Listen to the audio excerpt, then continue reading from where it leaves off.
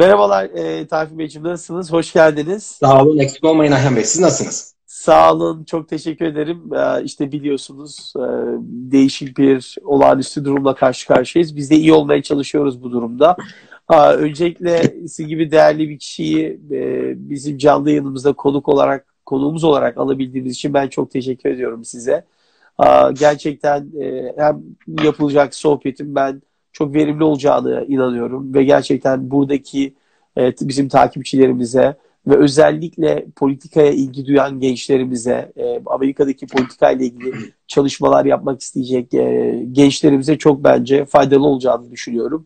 Aa, o yüzden ben şimdi şöyle bir şey yapabiliriz. Biz sizi çok iyi tanıyoruz, yıllardır tanıyoruz Aa, ve yıllardır e, sizin ne kadar mücadeleler verdiğinize birebir şahidim ben. E, ve hep bu, bu mücadeleyi pes etmemeyi çok güzel noktalara getirdiğinizi ve getireceğinize de inanıyorum yürekten. Şimdi o yüzden ben tanıyorum sizi, tanıyanlar da var sizi ve aynı anda siz özellikle hem Türk hem Amerikan basınında e, gerçekten işte Amerika'nın ilk e, Türk belediye başkanı olarak biz hepimiz biliyoruz sizi tanıyoruz. Ama sizden eğer mümkün olursa e, kendinizi kısaca olsa ya da biraz bahsedebilirseniz ee, bizim hem katılımcılarımız e, bu noktada bilgilenmiş olurlar. Sizi daha yakinen tanırlar diye. İsterseniz oradan başlayalım. Tamam. Çok teşekkürler Ayhan Beyciğim. Çok eksik olmayın. Ee, evet dediğiniz gibi çok zor günlerden geçiyoruz. Ee, dünyada zor günlerden geçiyoruz. Şimdi e, benim şöyle kısaca e, bahsedeyim kendimden. Yaklaşık 25 sene falan oldu ben Amerika'ya geleli e, Türkiye'de e, ist, e, mimar olarak mezun oldum üniversiteden. Sonra işte teknik üniversiteyi bitirdikten sonra buraya geldim. 95'te geldim. Sonra geri döndüm. 96'da tekrar geldim falan derken işte burada okul, iş e, devam ederken 2008 yılında e, bu politik şeylere başladım. E, çalışmalara başladım. E, bu benim bölgemdeki e, imar komisyonunda, imar komisyonu olarak üyesi olarak başladım. Ondan sonra e, bölgemdeki e, partinin e, ilçe diyelim, ilçe yönetim kurulunda görev aldım. Ondan sonra e, ilçe başkanı oldum. E, daha sonra belediye meclisi üyeliğine e, aday oldum. E, kazandım. Şansım yaver gitti. Ondan sonra da belediye meclisi üyelik, üyeliğinden sonra belediye başkanı oldum.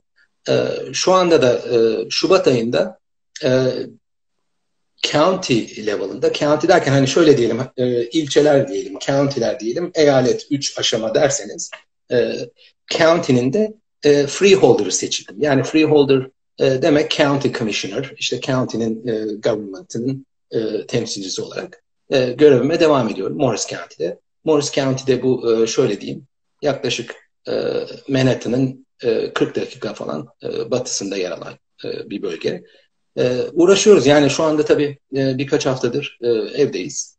E, durumu bundan ibaret. Çok teşekkür ederim. Harika. Gerçekten sizin başarı öykünüz ve e, bilginiz bizim için çok değerli. E, ben eminim e, bu yol aldığınız e, başarılı adımlarla ilerlettiğiniz bu çalışmalar daha üstlere gidecek, e, daha eyaletleri kapsayacak şekilde ilerleyeceğine ben eminim. Aa, şimdi tabii öncelikle ben sizin tabii ki bu tecrübeleriniz ve siyasi çalışmalarınızdan dolayı belki şey konusuna girebilirim. Herkesin de merak ettiği şu an gündemde de çok konuşulan. Şimdi biliyorsunuz hani eski usul siyasi kampanya dediklerinde işte yöntemlerinde biliyorsunuz kişi, kişilerle birbirine ulaşmak, dokunmak işte çok önemli bir adım. Özellikle tabii bu yeni medya dönemi. Yani ben ben tabii sizden de biliyorum bütün aktivitelerde, toplantılarda yer alıp insanlara kendinizi anlattığınızı da hatırlıyorum devamlı durmadan ki bu e, politikacıların birebir yaptığı bir şeydir. Devamlı halka inmektir, buluşmaktır, çalışmalar yapmaktır. Tabii şimdi bir farklı bir salgın e, virüsüyle ve kriziyle karşı karşıyayız. Bu durumda sizce nasıl bir siyasi çalışmalar ya da kampanyalar bizleri bekliyor bundan sonra? Ve tabii bunu da siz bir siyasetçi olarak ve genel olarak siyasetçilerin bundan sonra sizce ne yapacağını e, öngörüyorsunuz. Dün biliyorsunuz Doktor Felucci a, bu şeyi yöneten, e, bu krizin e, ters masasını yöneten e, doktorumuz kendisinin dün yaptığı bir açıklama vardı. O da şuydu artık el sıkmayı unutun dedi. Yani el sıkışmayı unutacaksınız artık dedi. Hani şöyle demedi iki hafta unutacaksınız, bir ay unutacaksınız demedi. Bundan sonra o tip bir temastan uzak duracaksınız. E şimdi bir politikacı için bunu yapmak gerçekten gerçekten çok zor. Aa, ki biliyorsunuz baş, e, İngiltere Başbakanı şu an e, hastanede yoğun bakımda. Umarız en kısa zamanda da toparlayacak. O, nereden aldığı belli onun da. Çünkü aktif politikacı olarak toplantılara katılarak, insanlarla selamlaşarak e, büyük ihtimal o tip ortamlardan aldı. Siz bu durumda nasıl görüyorsunuz bu tip siyasi kampanyaların ya da çalışmaların geleceği sizce nasıl ilerleyecek? Bu konuda böyle fikirlerinizi yani alabilirsek. çok doğru. Evet, evet. İlginç e, bir durum. Yani e, konuştuğumuz konu ne kadar ilginç. E, bir ay öncesini düşünürsek böyle bir konuyu konuşuyoruz falan. Yani sanki şey gibi böyle bir bilim kurgu filminin içindeyiz. E, uyanacağız, e, hala uykudayız, uyanmadık falan bir kabus görüyoruz gibi. E, dediğiniz doğru yani ben şöyle bir örnek vereyim size. E, Şubat ayının birinde, 1 Şubat'ta bizim e, bir kongremiz oldu. Bu kongrede işte ben e, yeni görevime seçildim falan filan. Bu kongrede 650 kişi katıldı bu kongreye. E, 650 delege. E, bunun yanında yaklaşık işte orada 300-500 kişi de seyredenler e, belki biraz daha azdır. Diyelim ki 1000 kişi vardı o, o gün orada. O 1000 kişinin inanın Ayhan Bey ben biniyle de tokalaştım. Ee, ve o bin kişinin biniyle tokalaşırken sırf tabii el sıkışmakla değil sık, e, şey yapıyorsunuz bazılarıyla sarılıyorsunuz konuşuyorsunuz birebir bir kontak var. Şimdi politika genelde ne diyorlar? Politika lokaldir. Bütün politika lokaldir. Her ne kadar federal e, e, şeyde görüyorsak da ne oluyor ne bitiyor. Aslında o bütün politikaların başladığı yer lokal ortamlar. Aslında ben ona lokal bile demeyeceğim. O bütün politika e, person to person birebir e, gerçekleşiyor.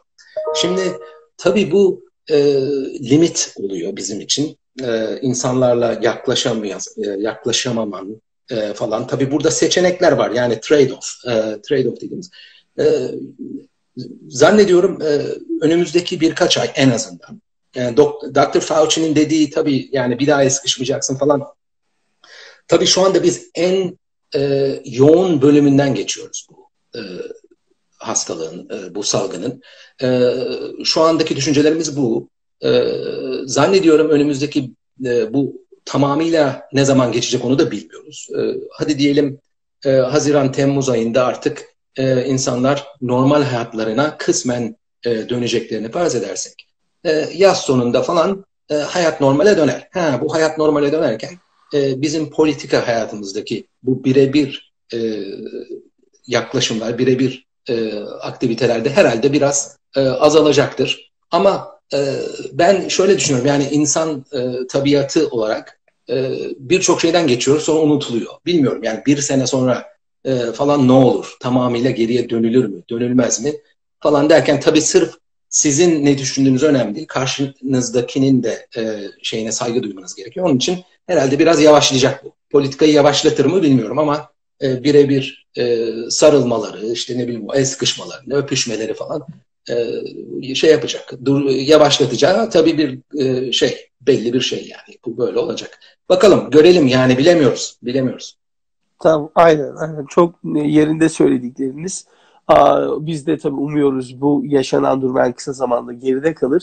Ki bu sayede en azından buradan bir de, ders çıkarılıp tedbirler noktasında dikkat edilecek bir yönteme doğru gideriz.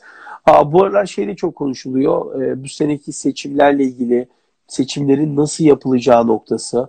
Yapılacak mı, yapılmayacak mı? ertelenecek mi? Yapılacaksa e, online ortamda mı yapılacak? Posta yoluyla mı yapılacak? Yoksa belki o zamana kadar sizin dediğiniz gibi sonbaharla belki biraz daha değişim başlayacak. Belki tabii bütün insanlar bir anda bırakılmayacak. Nasıl şu an marketlerde mesafeler bırakılıyorsa belki seçim bir gün değil birden fazla güne yayılacak. İnsanlar aralıklarla çok rahat mağdur yaşa mağdur mağduriyet yaşamadan mı yapacaklar? Bu noktada tabii biz insight bilgiye çok hakim değiliz ama bu noktada sizin düşünceleriniz ne düşünüyorsunuz? Nasıl bir şey bizi bekliyor bu yıl?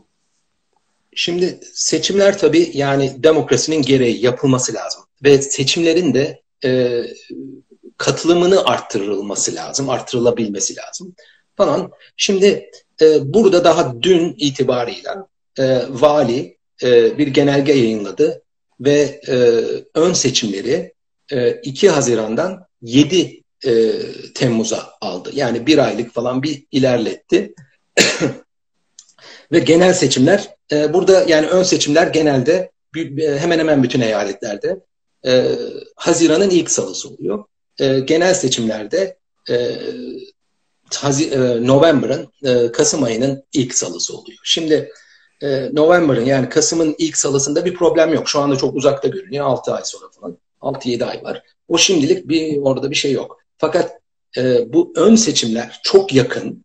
E, Haziran, Temmuz, işte Temmuz oldu. Temmuz'a kadar bile insanların belki de fazla birbiriyle yaklaşması, o kuyruklarda beklemesi falan doğru olmayabilir. E, seçimlerin posta yoluyla yapılması zaten bu başladı. Yani bu senelerdir yapılıyor ama şu anda e, daha popüler hale geliyor.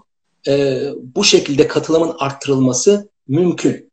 Ama tabii her şeyin e, bir artısı var, bir eksisi var. Şimdi seçimlere katılımı arttırıp posta yoluyla oy kullanmayı serbest bırakalım derken bunun zaman e, bununla birlikte bir takım problemler oluyor tabii. Mesela burada e, irregularities yani ne, nasıl diyeyim e, o oyun kimin verdiği belli mi? Yani orada bir düzensizlik olabilir mi?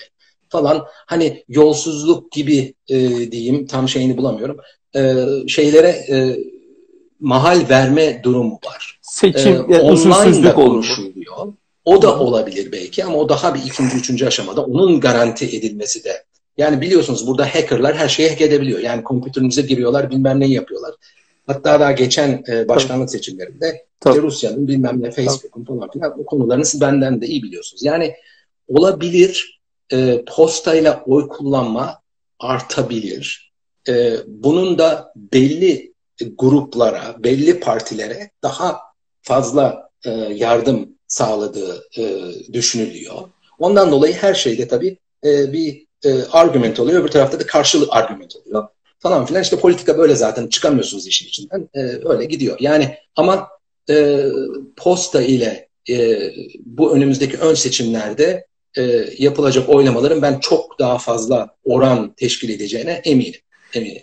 Tabii seçim yani seçim güvenliği en büyük e, şey olacak anladığım seçim kadarıyla. Evet. Soru işareti olacak. Aa, şu anda e, haklısın zaten kalıcı olacak bir çözüm değil ama en azından bu yılki çözümlerde posta yolu gibi e, ve tabii seçim güvenliğini riske atmadan e, yapılacak şeylere ihtiyaç duyulabilecek gibi e, görünüyor. Ben de öyle düşünüyorum. Um, sizin şey konusunda fikriniz nedir? Şimdi tabii biliyorsunuz bir kriz yaşanıyor şu an. Olağanüstü bir durum. Uh, bu olağanüstü durumda e, üçlü bakılabilir değil mi? Bir, kişiler gerekeni yapıyor mu, yapmıyorlar mı? Yerel yönetim gerekeni yapıyor mu, yapmıyor mu? Federal hükümet gerekeni yapıyor mu, yapmıyor mu? Bu noktada sizin gözlemleriniz ve tavsiyeleriniz ne olur bu üç gruba da? Yani hem bize kişiler olarak hem yerel yöneticilere hem federal yöneticilere böyle hani çok sizi şey yapmadan, zorlamadan çünkü Tabii. sizin bakışınızda da ben bunun değerli olacağını inanıyorum. Bu konudaki görüşünüz, gözleminiz nedir? Doğrular yapılıyor mu? Ve tavsiyeleriniz neler olabilir? Tabii. Şimdi ben şöyle diyeyim gerek kişisel, gerek lokal, gerekse federal e, seviyedeki e, cevap, bu probleme verilen cevap e, aslında e, gayet iyi gidiyor. Yalnız şöyle bir durum var. Tabii bu çok yeni bir şey, bilinmez bir şeydi. Bunun daha önce bir e, provası e, yapılamadı, yok olmadı. Çünkü böyle bir şey demek ki e, ihtimaller içinde değildi. E, şimdi şöyle diyeyim, e, federal government e, yani bu hükümet falan e, ve aynı zamanda da e, Merkez Bankası e, çok e, acil önlemler aldı. E, ekonomiyi e, hareketlendirecek, daha doğrusu e, durmasını engelleyecek e, bir sürü önlemler aldı, paketler açıkladı. Bunları e, hızla da e, hayata geçirmeye çalışıyor. Tabii her ne kadar e, paketler büyük de olsa problem paketin yüzlerce katı, onlarca katı. Yani e, çok daha büyük problemin e, e, yaşı, şu anda yaşıyoruz. Şimdi federal e, aşamada benim e, sadece şöyle bir e, eksiğimizin olduğunu düşünüyorum. E, bir sürü sağlık e, gereçleri, e, ekipmanları e, maalesef e, yurt dışında yapılıyor. E, yani bu hemen hemen her ülke için geçerli. İşte nerede? E, işçiliğin ucuz olduğu yerlerde bunlar yapılıyor. Amerikan firmaları dahi olsa bunlar e, bu malları işte Çin'de, orada, burada Malezya'da işte o taraflarda yaptırıyorlar. E ne oldu? Böyle bir global problem olunca her yerde e, bunun e, arttı. Buna arz artınca ne oldu? E, ülkeye her ne kadar o şirket Amerikan şirketi de olsa kendi dahi yaptıramadı falan filan öyle bir e, şeyde e, bir e, aksilik oldu. Onun için bu bize bir ders olmalı federal government'a. O ileride e, bu üretimlerin bir kısmını, şimdi bu e, sağlık hizmetleri yani e, ulusal güvenlikten de daha önemli. E, neticede ulusal güvenliğinizi sağlayan insanlar. O insanların e, hayatları tehlikeye girerse ulusal güvenliğiniz de tehlikeye girmiş oluyor. Yani orada öyle bir durum var. İleride bu düzeltilmeli e, ve düzelteceklerine de eminim. Yani bu hangi iktidar gelirse gelsin onun önemi yok. E, bu ülke olarak bize, Amerika olarak bize bir ders oldu. Şimdi orta seviyeye gelirsek lokal government'lar. Yani şimdi biz daha dün itibariyle ben e, şeyle konuştum. E, bizim federal temsilcimiz e, bir bayan var e, Washington'da onunla konuştum. E, 2-3 milyon dolar civarı bir e, yardım alıyoruz. Ondan sonra 1-3-5 milyon dolar. Yani neticede tabii para yardımı çok önemli. Yani bu yukarıdan aşağı geliyor. Federal government'tan e, lokale, lokalden de e, daha da lokale iniyor. Yani eyalet, eyaletten de lokale. E, eyaletler, eyaletten de yardımlar alıyoruz. Neticede Ayhan Beyciğim bu çok yeni bir şey. Çok ani oldu. Herkes hazırlıksız yakalandı. E, yani herkesin gardı açık yakalandı. E, böyle bir problem oldu. İnsanlar olarak da aslında şöyle diyeyim. şu anda çok iyi gidiyoruz. Ama bundan daha bir iki hafta öncesine kadar sanki bizler de bunu tam ciddiye almadık. Yani bunu e, özellikle bu Florida tarafında falan e, üniversiteli e, gençler, işte partiler olsun bilmem ne. Yani tam toplum olarak e, fazla ciddiye almadık. Biraz sonradan e, başladık. Gardımızı sonradan tutup, tuttuk. Hani belki bir dahaki sefer o da bir ders olabilir. E, böyle bir e, uyarılar geldiği zaman federal devletten veya eyaletten e, insanlar da bir an önce e, şeyini alırlar, önlemlerini alırlar. Yani bunlar tabii ders pahalıya patlayan dersler oluyor. Yani New Jersey dünyada bir buçuk milyon şu anda şey var, e, case var. Efendim New Jersey'de 51 bin case var. 1700 kişi öldü. Yani bunlar çok ağır tabii e, bedeller. Ama öğrendik. Yani öğrendik. İnşallah bir daha olmaz. E, ama bir daha da olursa ben eminim ki e, çok hazırlıklı olacağız. Öyle diyorum ben. Kesinlikle çok yerinde Tayfun Beyciğim söylediklerin. Özellikle son nokta bize şimdi dediğiniz gibi hiç beklemediğimiz, görmediğimiz, hazırlıklı olmadığımız bir şeyle karşı karşıyayız. Demek ki bu virüs olayı çok ciddi olabiliyor. Bir anda yayılabiliyor. Ve dolayısıyla e, bu noktada dedikleri eğer ileride daha kötü bir virüs kriziyle karşı karşıya kalırsak en azından bunun ön çalışmasını, ön hazırlığını şu an yapmış oluyoruz. Daha facia durumlardan, kötü durumlardan ayakta kalabilmek için. Um, ikincisi de hemen Avrupa'daki ülkeler çok ilginç hemen yorumlar yaptılar o dediğiniz konulardan. Sizin o bahsettiğiniz işte biz üretmiyoruz, burada federal hükümet üretmiyor. Ha, şimdi anlaşılıyor ki biz her şeyi üretemeyiz dışarıda. Burada da üretimin yapılması gerekiyor. Bu acil durumlar için. Bu şuna benziyor. Evindesin ama evinde hiçbir e, hiçbir gıdan yok. Hepsi marketlerde. E marketlere gidemezsen ne olacak? Evinde de kalmayacak bu sefer gıdalar. O ulaşım olmadığı zaman.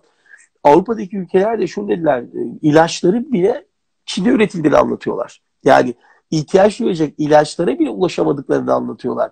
Onu bir yere bırakın. Getirtecek durumda da değiller. Virüs krizinden dolayı, yayılma ihtimalinden dolayı. Ve bu noktada da aynen dediğiniz gibi hem Amerika hem Avrupa görülen bundan sonra önemli acil şeylerin bir kısmını ya da üretimini kendi içinde de yapacak, tutacak standı o şekilde oluşturacak. Bence o çok güzel tavsiyelerden bir tanesi de özellikle federal hükümete ve hatta belki yerel eyaletlere de gelen e, bir e, tavsiye noktasında bence çok faydalı e, olacağını düşünüyorum.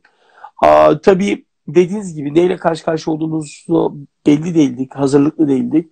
Ama şu an herkes gittikçe bu işin ciddiyetine varıyor, görüyor ve buna buna da uymaya çalışıyor. Ve umarız bu aydan sonra da bu tip vakalar gittikçe düşüyor olacak ve bu sayede bu virüs olaylarında yaşanan kayıplarda azalacağını umuyoruz. Ben e, tabii biliyorum zamanınız değerli. E, diğer önemli bir konuya geçeceğim. Programın da sonuna doğru gideceğiz öyle. Ha, şimdi bizim e, biliyorsunuz burada gençlerimiz var. Burada doğmuşlar. Amerikan vatandaşı olan ya da sonra da olan gençlerimiz var. Ama bu gençlerimize politikaya da yer almaları konusunda siz devamlı mesajlar veriyorsunuz. Devamlı bu, e, bu noktada biliyorum e, onlara işte politikadan uzak durmayın, içinde yer alın diyorsunuz.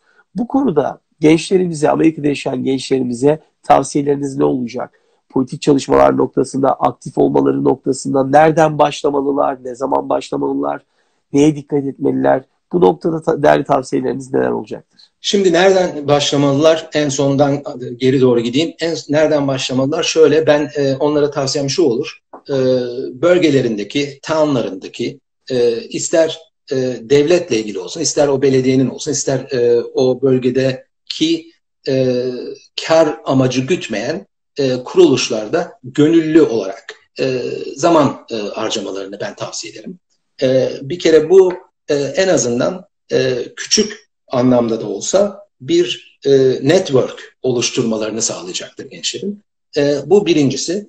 İkincisi eğer mümkünse e, kendi e, belediyelerinde e, ne bileyim onların e, environmental komisyonları oluyor, ne bileyim e, planlama komisyonları oluyor, zon, e, imar komisyonları oluyor falan.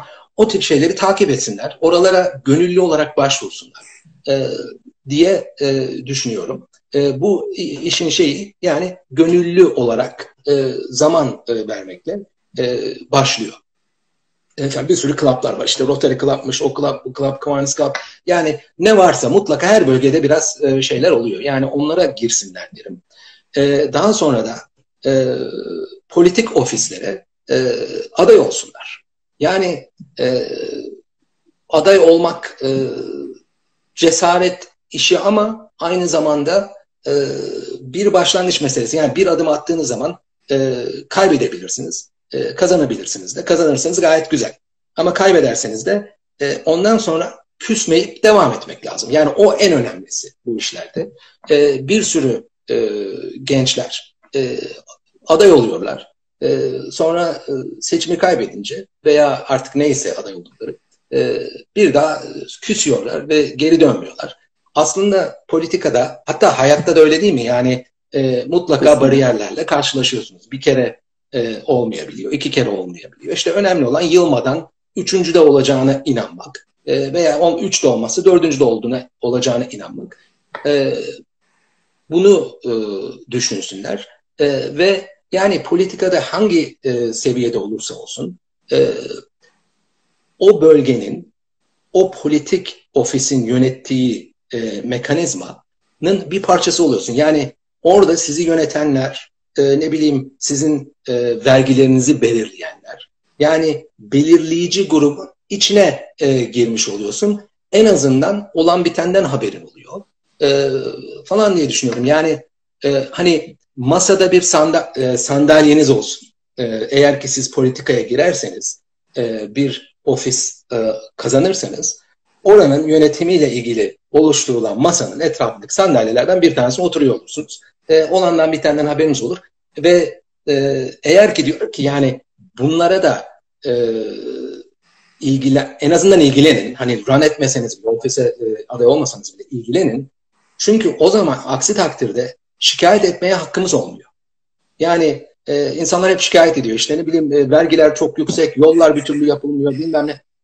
Ama o oranın belediye başkanını bile hiç bilmiyoruz. Oranın milletvekili kim? Bizi kim temsil ediyor? Washington'da bizim adımıza kimler karar alıyor? Senatörlerimiz ne yapıyor? Falan yani bu konularda biraz da e, nasıl diyeyim e, hem girişken hem de e, şey olmamız lazım. E, e, yani e, kelimeleri Aktif tam olmamız lazım. Girişken. yani bizim girişken olmamız lazım. lazım. Hayır. Bence çok evet, güzel. Çok yani... çok çok değerli bunlar. Çok değerli tavsiyeler. Bence şey noktası çok güzel söylediğiniz. Hani o küsmemek. Yani hani e, bir de tabii şey algısı bazen olabilir. Hani bir şeye aday oldum olmadım hiçbir şey sahibi olamam dememek lazım. Yani Ben e, şeyden biliyorum biliyorsunuz Brooklyn Belediye Başkanımız Erik Bey var, Erik Adams. Onun bir ara e, sohbet ederken onunla işte onun hikayesini biraz dinlerken mesela şaşırmıştım bilmiyordum hiç. Kaç kez aday olduğunu aslında belediye başkanı olmak için 2-3 kez kaybettiğini herhalde. Üçüncüsünde kazandığını. Ondan önceki görevinde başka bir ofis için şey yaparken oraya da hemen kazanamadığını, birkaç girişiminden sonra kazandığını.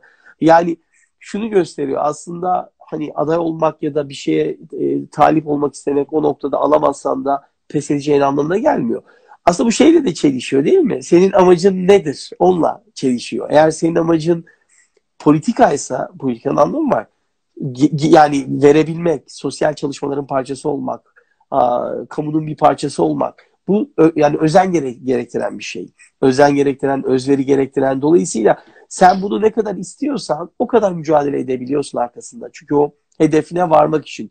Şimdi biliyorsunuz daha yeni e, Bernie Sanders mesela çekildi yarıştan daha birkaç gün oluyor. Çekildi. Kaçı, ben kaç kez de onun e, başkanlık yarışına girdiğini bile unuttum. Yani o kadar çok kez girdi ki sesini duyurabilmek için. Yani görüşü ne olursa olsun önemli değil. Partisi ne olursa olsun önemli değil. Ama demek ki vazgeçilmesi gerekmiyor. Bir şeyi e, istedikten sonra kaybetsen bile deneyebilirsin. Eğer amacın gerçekten hizmetse, gerçekten e, kamuya çalışmaksa, destek olmaksa bence bu çok önemliydi. O e, şey yapmamak, e, küsmemek, tam tersi denemek ve gitmek. Umarız a, sizin de böyle açtığınız bu yoldan çok başarılı gençlerimiz devam eder e, ve devamlı e, güzel örneklere sahip oluruz e, ki hem buradaki biz e, hem buradaki topluma hem e, ülkeye ülkemize de destek anlamında çalışmalar yapmak için. Eklemek istediğiniz bir şeyler varsa ben çok teşekkür ederim burada zamanınız için. Son söz olarak belki bir tavsiyeniz ve bu şekilde de programı kapatabiliriz. Sa sağ olun, çok teşekkür ederim e, Ayhan Bey böyle bir fırsatı bana sağladığınız için. E, ben sizi de tebrik ediyorum. E, yani bu ülkede gelip de e, böyle başarılı bir avukat olup, isim yapıp, e, ofis açabilip falan bunlar da yani çok çok önemli büyük başarılar. E, sizi ben tebrik ediyorum bu bakımdan. Ben teşekkür ee, ederim. yani tavsiyem şu. E, ellerinizi yıkayın. Birbirinizden en az 6 fit, yaklaşık 1-2 metre kadar e, uzakta durun. E, yani bu olayı 2-3 ay içinde atlatacağız. E, atlatacağız. Bedeli çok ağır oluyor. Ekonomik olsun, e, yaşamsal olsun, e, sağlığımızdan, e, sağlığımızla ilgili olsun. Çok çok zor ve çok pahalı bedeller öderek, ödeyerek atlatıyoruz. Ama atlatacağız. Yani atlatacağız. E, ondan sonra da hayatımız düzene girecek. E, hayatımız düzene girecek. E, ben bütün e, seyredenlere e, olumlu olmalarını, optimist optimistik olmalarını e, öneriyorum.